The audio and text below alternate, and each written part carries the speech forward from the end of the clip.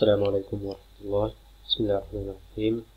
محمد صلى الله عليه وسلم الجزء الثاني مصادر سيرته كان لشخصية النبي محمد تأثيرا كبيرا في التاريخ.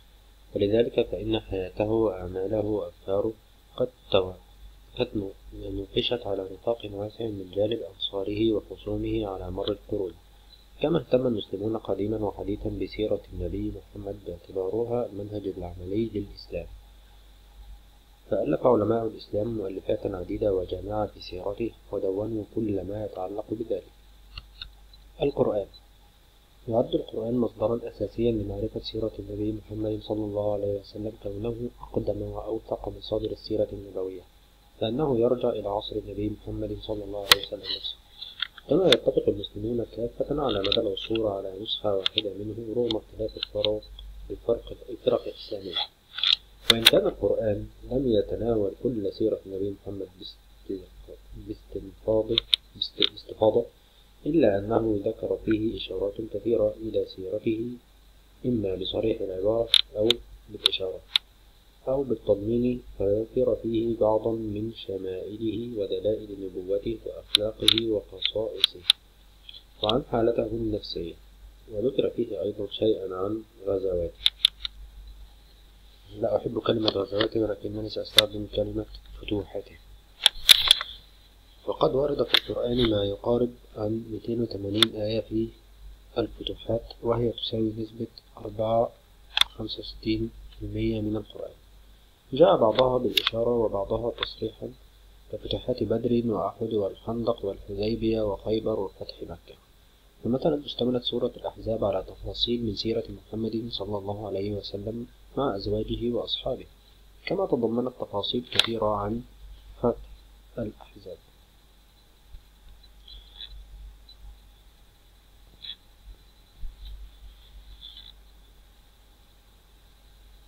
كتب الحديث كتب الحديث قد شغلت السيرة النبوية حيزا كبيرا من كتب الحديث وكل من ألف في الحديث كان يخصص أقساما وأبوابا وكتبا خاصة بما يتعلق بحياة محمد صلى الله عليه وسلم ودعوته وفتوحاته وحتى عن صحابته.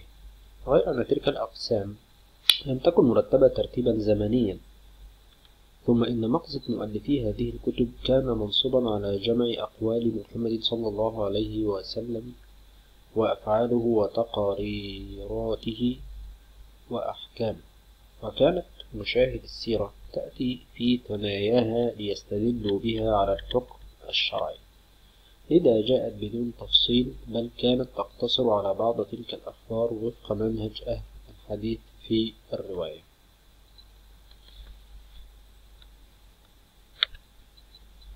اتفق علماء المسلمين على أن أشهر وأقدم كتب الحديث التي زخرت بأخبار السيرة النبوية هو موطئ مالك حيث أورد جملة من الأحاديث تتعلق بسيرة محمد صلى الله عليه وسلم وأوصافه وذكر ما يتعلق بالجهاد وكذلك فعل البخاري في صحيحه حيث ذكر جوانب من حياة محمد صلى الله عليه وسلم قبل البعثة وبعدها وخصص كتابا في المغازي وفرق الجهاد.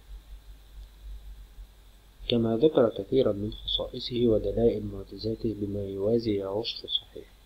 وهكذا فعل مسلم بن الحجاج في صحيحه حيث اشتمل على جزء كبير من سيرته وفضائله وجهاده. وكان كل من جاء بعدهم اتبع نفس النهج مع اختلاف التبويب والترتيب كأصحاب السنن أبي داود والترمذي وابن ماجه والدرامي وأحمد بن حنبل. كتب السيرة. بدأت كتابة السيرة النبوية والمغازي في مرحلة متأخرة عن كتابة الأحاديث النبوية وإن كان الصحابة يهتمون بنقل سيرته شفاهة فكان أول من اهتم بكتابة السيرة عموما هو عروة بن الزبير. توفي سنة تسعة في هجري 92 هجريا ثم أبان أبان بن عثمان توفي في 105 هجريا ثم وهب بن منبه توفي في 110 هجريا. ثم شرحبيل بن سعد توفي في 123 هجريا.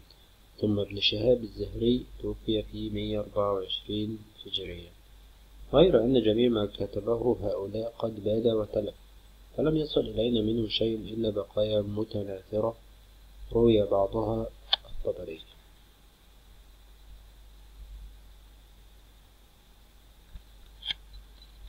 في الطبقة التي تلي هؤلاء يأتي محمد بن إسحاق.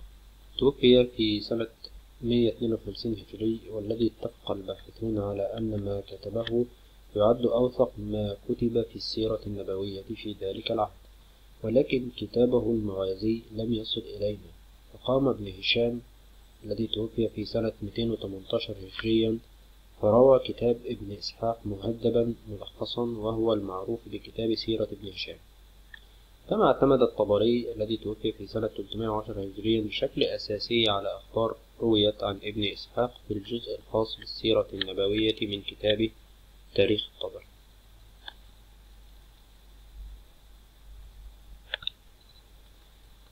مصدر آخر ظهر في وقت مبكر من هو المغازي للوقدي توفي في سنة 207 هجري والذي استفاد منه تلميذه ابن سعد البغدادي توفي في سنة 230 هجرية في كتابه المسمى بالطبقات الكبرى. الكثير من الباحثين تعاملوا مع هذه المصادر كمصدر صحيح مع أن دقتها غير مؤكدة لاحقا عمل الباحثون على التمييز بين الأساطير والروايات الدسيسة والمكذوبة من جهة والروايات التاريخية البحتة من جهة أخرى.